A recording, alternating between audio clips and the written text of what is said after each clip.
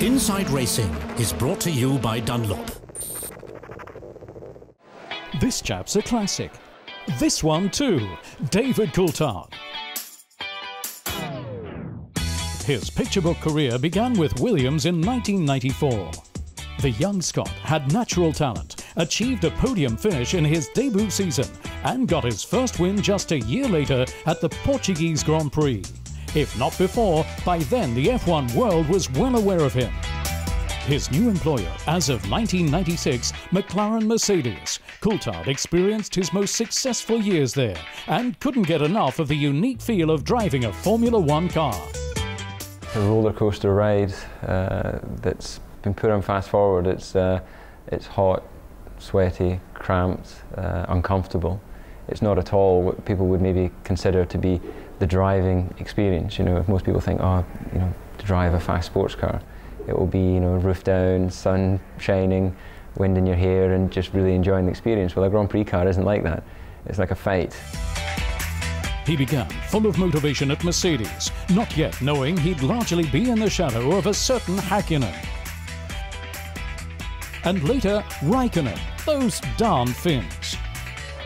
Nevertheless, he had great success. His record in F1 62 podium finishes and 13 wins. But the cherished driver's title eluded him. A motorsport role model all the same. He's undoubtedly one of the top äh, five in terms of being well known around the world and in terms of success. Well known and charming, Coulthard is seen as a man about town. Home is Monaco, where he's often encountered at parties and in classy cars. But his good luck has also suffered some fateful blows. The year 2000, Coulthard's private jet crash lands, but he has an attentive guardian angel. He and his then girlfriend survive. For the two pilots, however, all help came too late.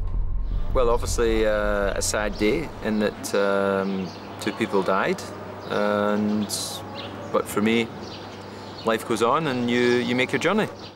After that, what counted for Coulthard was no longer just winning. The next career step, a switch in 2005 from conservative to casual, from McLaren Mercedes to Red Bull Racing. Here, he was not driving a competitive car, but helped develop the team. With consistency and routine in Superman style, he got Red Bull Racing their first podium finish. For a moment, I thought I had special powers, but then unfortunately, they wore off very quickly. His success and refound easygoing air brought him great respect, making the end of his Formula One career all the tougher to take.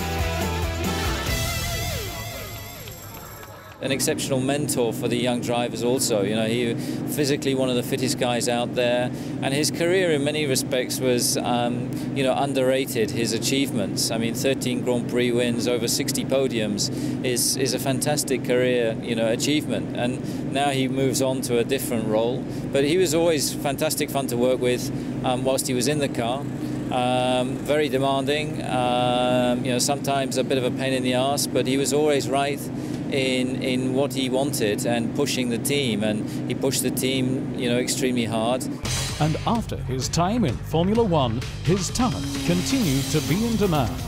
In 2010, it was back to his roots as Coulthard went racing for Mercedes-Benz in the DTM, a completely new challenge that was fully considered. Some people have asked why I look at uh, DTM rather than other forms of open wheel racing, but the reality is uh, I've been to several of the races. Uh, I know it's a very competitive championship. Um, I have a long relationship with Mercedes that uh, goes back to Formula One. We were seven years together there. So there's many reasons that really appeal to me about the, the DTM racing. And obviously I know that it's a mountain for me to climb. It's, it's a completely new championship and a lot to learn, but I'm excited by that. It seems that after Formula One, he missed the adrenaline, the speed in his life. Only at home are things a little calmer around the gentleman driver. His wife Karen and son Dayton now his great joy. The pace here, more bobby car than top speed. You know, I experienced love in my life, but I never experienced this type of love. It's incredible. Uh, it's obviously very challenging. Anyone who has children knows that uh, they, they don't follow a routine, uh, which is like adults, they follow their own routine, so it's quite a difficult challenge.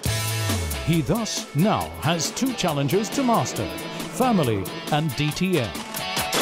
But that doesn't worry a man like David Coulthard, for with 40 years on the clock, the fun's not about to stop anytime soon. Inside Racing was brought to you by Dunlop.